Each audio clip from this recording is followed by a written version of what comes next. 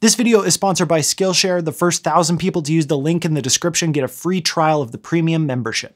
Time is money, and money is coffee. So in today's video, I'm gonna show you a bunch of tools that you can use to edit your videos faster. Secure the cup, let's go.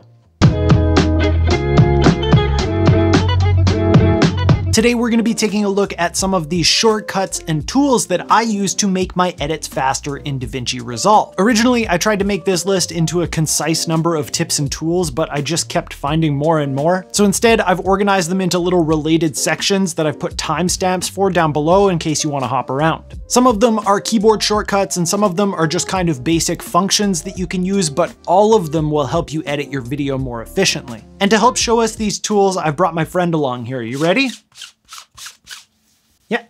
Good to go. Could you at least like clean off your desk first? Don't worry, I'll just frame the shot so that they can't see the mess. Okay, you're up.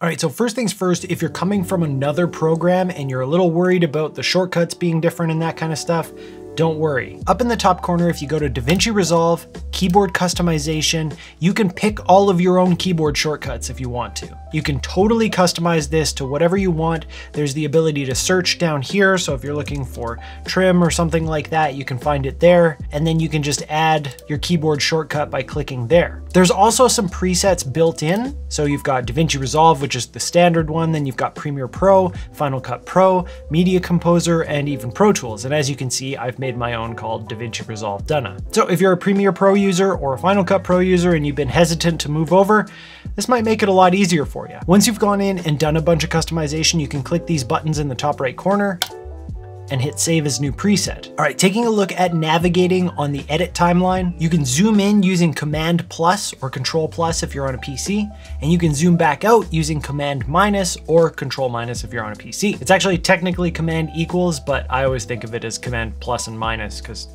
zoom in, zoom out, plus, minus. Anyway, if you like to use a scroll wheel on your mouse, you can use that to either go up or down on your video or audio tracks depending on where your mouse is when you start to scroll. Holding down command and using the scroll wheel will go horizontally. Holding down shift and using your scroll wheel will zoom in or out vertically, again depending on whether your mouse is over the audio or video tracks. And then holding down option is going to zoom in or out horizontally, which we already know we can do using command plus or minus. Okay, the next set of commands is all about small adjustments. The arrow keys can definitely be your best friend here for moving your playhead. So if I want to move my playhead over by one frame, I can just hit the right arrow. I can do that a bunch of times. If I want to move it over by a full second, I can hold shift and hit the right arrow. And the same works with the left arrow. You can do single frames by just hitting that, or if you hold shift, you can go a second at a time. If you hit the down arrow, it'll go to the end of the clip that your playhead is currently on. And if you hit the up arrow, it'll go to the start of that clip. If I wanna nudge a clip over to the right by one frame, I can hit period. If I wanna move it to the left, I can hit comma. Again, I always think of this as using the angle bracket keys, but technically you're using period and comma. And if I wanna go multiple frames, I think it's five at a time, I can hold shift. So that shift and period, technically I am actually using that angle bracket now and shift and comma. And speaking of little movements, right here we have the snapping tool, and we can turn that on and off by using S. And if you've got multiple clips, they'll automatically snap together. And if you're getting in here and you really wanna just like move something just a little bit, see I can only move that about three frames at a time. If I hit the snapping, so I turn that off now, now I can move it as small as one frame at a time. So you can make those small adjustments. And while we're here, one of my favorite modes is called trim mode, and you can get there by hitting T, or also clicking here. Now, when you're not in trim mode, if you trim the edge of a clip like this, you notice it leaves a big gap there. But if you're in trim mode and you do the same thing, it automatically will move the clip so that it butts it up against where that edit was. Another great thing about trim mode is that if you want a different portion of your clip, you can hover your mouse over the top half of the video track and then you can move it and you can see which part of the clip you're using.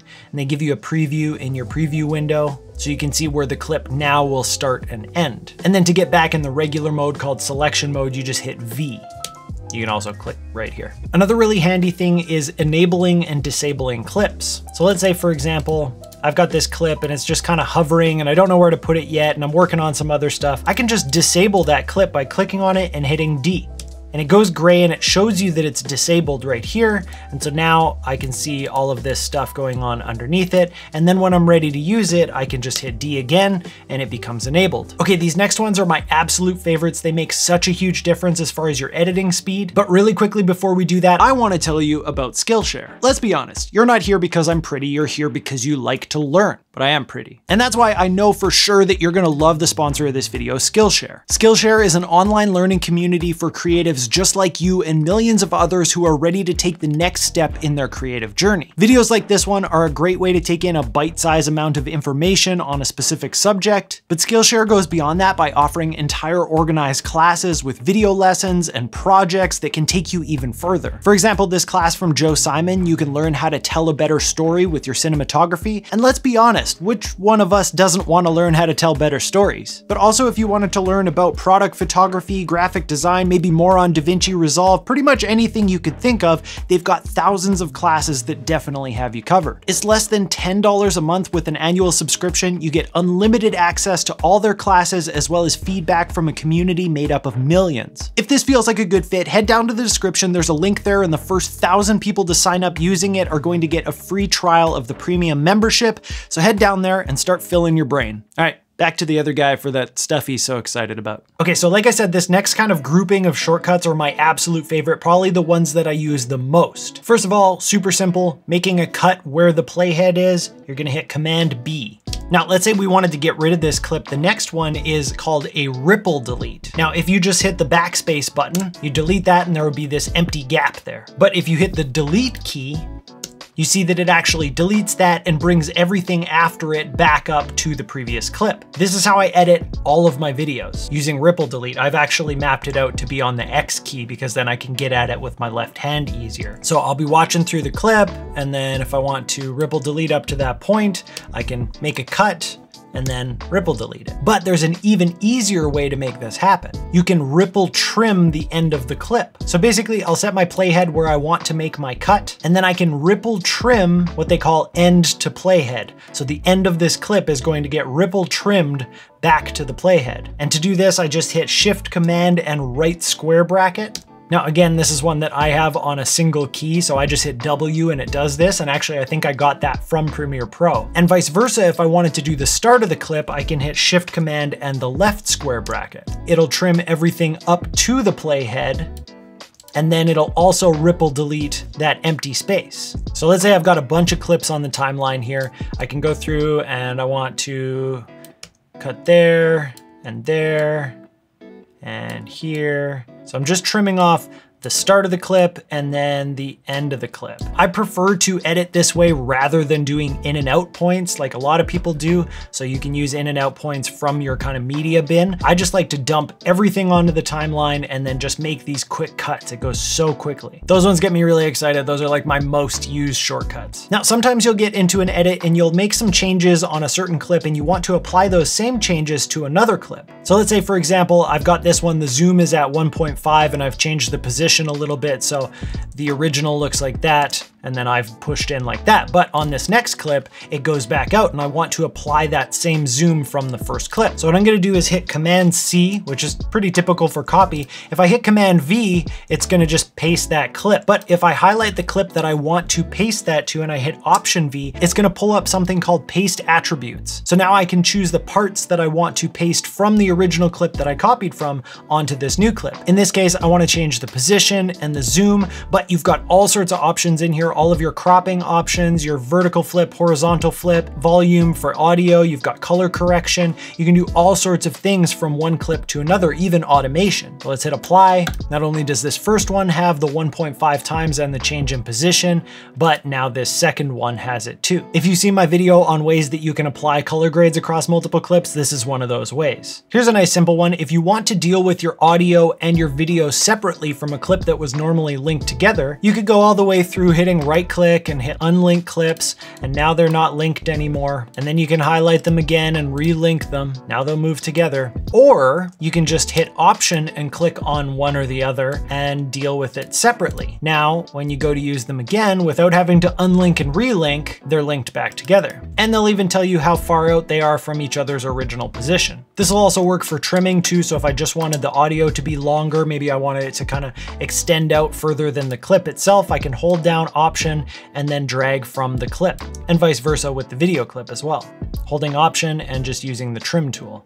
Now, we talked a whole bunch about all those kind of ripple functions, but sometimes you're working on a second track and you don't want all the ripples to work on all the tracks. All right, so I've got this kind of multi-layered video setup going on, and let's say I just wanna work on this third track. I don't wanna hit these first two. But if I put my playhead where I want and I use that trim to the end of the clip trick, it did it to the end of that clip specifically, but it also chopped out all of the parts on the other tracks as well. And that's not what I want. So what I can do is I can hit the auto track selector and turn that off on all the tracks that I don't want to be affected by this edit. And now when I hit it, it only does that one track. So now I can just kind of edit away without having to worry about these bottom tracks getting messed up. The other thing that you can do is you could lock those tracks. Now I have to go unlock it if I want to edit it. Whereas if I just have auto track selector turned off, I can still move things on those tracks. It just doesn't get caught up in those quick commands. While we've got these multiple layers, here's a cool one. If you put your cursor anywhere on your timeline and hit Y, it's going to select everything forward on the main track. If you want to select all the clips before the playhead, you hit Command Y or Control Y on a PC. And then you can also do the same thing for all tracks by hitting Option and Y, so that's gonna select everything forward past the point of the playhead, and then Option Command Y will select everything on all tracks before that.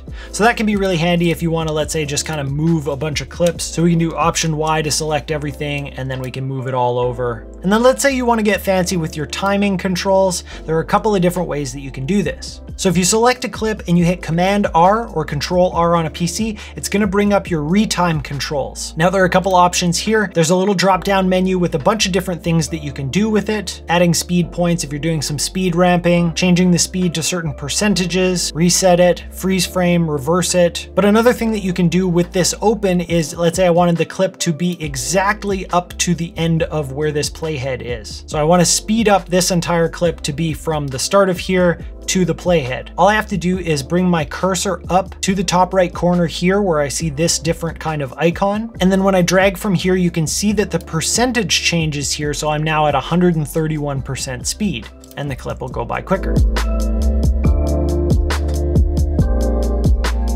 Now another thing that you can do with the clip selected is just hit R and then the change clip speed dialog is gonna come up. Some of the same options in here. So you can change your speed from there. You can change the frames per second or the duration. And you've got some other options depending on what kind of changes you wanna make. And so those are a couple of the ways that you can change the speed of your clip. Okay, here's what I want you to do. Head down to the comments and share any other awesome functions that you think people should know about. And while you're on your way down there, make sure to hit that like button and subscribe and hit the bell notification so you don't miss out on future reviews and tutorials. Thank you so much for watching and thanks to Skillshare for sponsoring.